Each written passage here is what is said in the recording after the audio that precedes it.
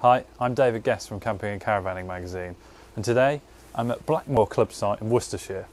I'm here to investigate a part of the club which isn't technically a special interest section, but has a very important role to play countryside care.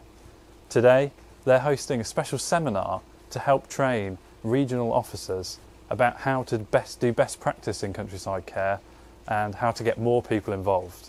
To find out more, I spoke to Norman Hemsley, who's the National Countryside Care Officer for the club. Countryside care uh, or conservation, conservation is the, the true name, but we call it countryside care.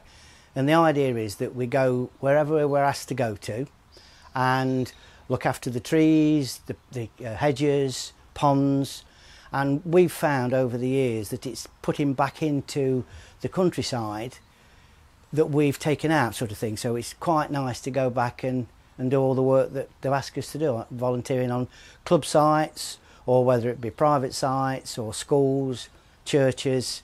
We do, we sort of, we've just done, well, five years ago, uh, a local school asked me if I could get a team to go together to build a wildlife pond for the children to go dipping for the, the, the bugs and that. So we went up, dug it out, put a layer in, and now what we do now, we go back and just maintain it. The, the idea is that there's so, there's so many DAs and regions and sections asking about countryside care, where can we go, where can we do it, and obviously we have to talk, tell them about the health and safety of tools and the risk assessments that we went through today.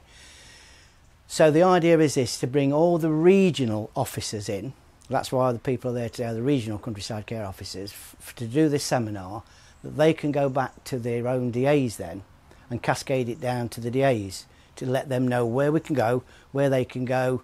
And one or two people think it's just got to be club sites, as I've just said a minute ago. It's not. Anywhere where we can go out and do work for the countryside.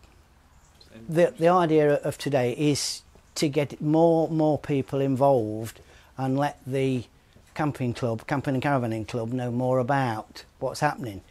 Because, as I say, you've got 44 people here today. Now, you could treble that or treble, you know, the amount of people that are out there that doesn't know exactly what to do.